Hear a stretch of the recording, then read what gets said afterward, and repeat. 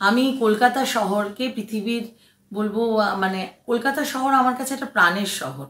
যারা কলকাতায় থাকেন না, তারাও ভালোবাসেন এই শহরটাকে, তারাও ফিল করেন এই শহরটা পৃথিবীর সেরা শহরগুলোর মধ্যে অন্যতম। নিউ ইয়র্ক টোকিও ওয়াশিংটন আমাদের চায়নার বেইজিং এইসব শহরের সময় ছোটবেলায় যখন পড়াশোনা করতাম, তখন কলকাতার নামটা একসঙ্গে উঠে আসতো। তো এইরকম একটা শহরে থাকি, ভীষণ গর্বিত। কিন্তু আমি যে শহরটাকে এখন দেখতে চাই, সে শহরটাকে অনেক দেখতে চাই, অনেক বলব যে শহরটাকে আমি চিনতাম। কিছুদিন জন্য হারিয়ে যাচ্ছে, সেই শহরটাকে আমি দেখতে চাই পরিষ্কার, ঝকঝকে, কোথাও ময়লা ফেলা থাকবে না। অহেতুক নোংরা জমা থাকবে না। রাস্তার মানুষজন অহেতুক, কোথাও একটা মানুষ, বৃদ্ধ মানুষ দাঁড়িয়ে গেলে তাকে হর্ন দেবে না। সারা শহরে প্রচুর সবুজ থাকবে, অনেক গাছ থাকবে।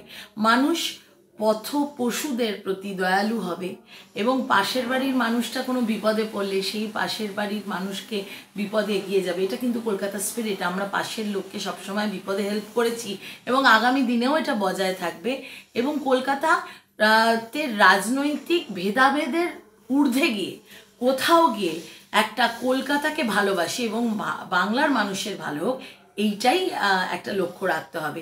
রাজনীতি থাকবে আদর্শের মতাভেদ তো থাকবেই সেটা তো ডেফিনেটলি থাকতে বাধ্য। মানুষের মানুষের উম, আদর্শের ভেদাভেদ থাকতে পারে রাজনীতির ভেদাভেদ থাকতেই পারে।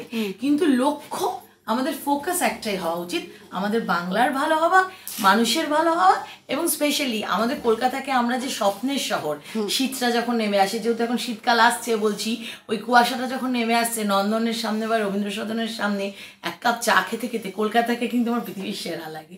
তো আমি এরকমই শহর দেখতে চাই। আরেকটা কথা বিশেষভাবে কলকাতা সম্পর্কে না বললেই নয় যেহেতু আমি নিজে ইতিহাসের ছাত্রী এবং ইতিহাসকে আমি শুধু একটা শুকনো সাবজেক্ট না ইতিহাসকে আমি ইতিহাসকে আমার একটা জীবনের অঙ্গ বলে মনে হয়। আমার বাবা বলতেন যে অতীত যখন মুখরিত হয় বর্তমানে সেটাকে ইতিহাস বলে। মানে ইতিহাসকে ছেড়ে আমাদের বর্তমানটাও কখনো কমপ্লিট হতে পারে না। তো আমাদের কলকাতার বর্তমানটা ভালো করতে হলে ভবিষ্যৎটা আরও সুন্দর করতে হলে আমাদের কলকাতায় অনেক হেরিটেজ জায়গা আছে। যেটা হয়তো সরকার দ্বারাও ডিক্লেয়ার না অনেক সময় সব জায়গা তো ডিক্লেয়ার হতে পারেও না সেটা সম্ভব নয়। সেই জায়গাগুলোকে আমাদের কলকাতার মানুষদেরও কিছুটা দায়িত্ব থেকে যায় রক্ষণাবেক্ষণের জন্য।